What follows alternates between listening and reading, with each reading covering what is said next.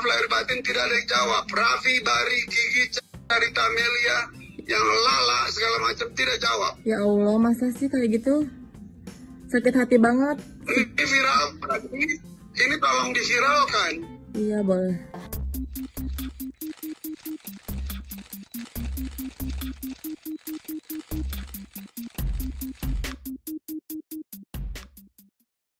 Muncul dengan mengagetkan semua orang kali ini Gideon Tanker ayah dari Nagita Slavina membuat status di sosial media pribadinya menjelaskan kalau dirinya tak mau lagi menjadi ayah Nagita Slavina dan Caca Tanker karena merasa tidak dianggap.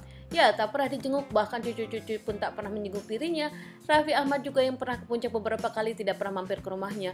Buat Gideon Tanker kesal saat dirinya ke rumah Nagita namun ternyata dihadang oleh security Nagita dan tak boleh masuk.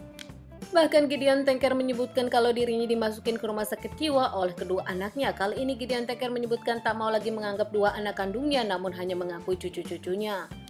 Tak hanya membuat status di sosial media pribadi yang cukup mengagetkan, namun dirinya pun melakukan video call dengan salah satu akun gosip dan minta diviralkan. Agar semua orang tahu kalau Gideon Tanker kini tak mau lagi menjadi ayah dari dua anak kandungnya.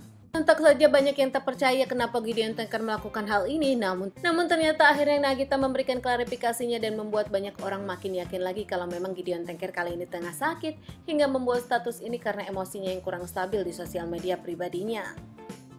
Wali juga dicabut dari kedua-duanya. Tankernya juga cabut, ganti nama, ganti bapak, silahkan. Iya, betul.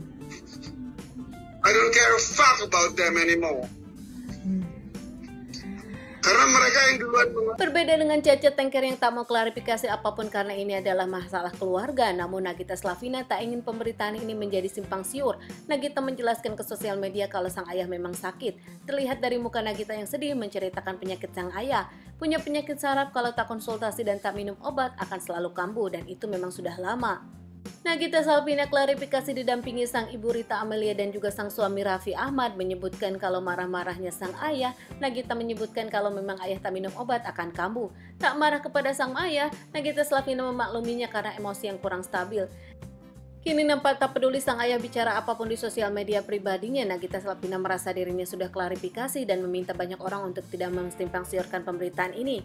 Nagita pun meminta kepada semua orang untuk mendoakan sang ayah agar bisa mau lagi konsultasi dan meminum obat supaya tidak kambuh dan menjaga kesehatannya. Meskipun jauh dan jarang bertemu, Nagita memang selalu mendoakan sang ayah menurut sang ibu. Kan salah kiss mama dong. Kiss, kiss mama kiss. Kiss. Kiss. Aduh.